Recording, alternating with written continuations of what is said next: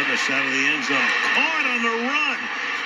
A first down and more to the 35 goes DeAndre Hopkins, who had not scored a touchdown all season. Then Levis comes in last week and throws three to him, and a Steeler is hurt. I think it's Cole Holcomb who is down, the linebacker. 29 yard gain on that last play. Now watch the patience of the veteran Hopkins. Look at this. Almost just lulls the linebacker Holcomb to sleep, and then he gets hit by his own player right there. Just trying to, look like Neal maybe ran into his lower body and took him down. Injury timeout, 46 ticks to the end of the quarter.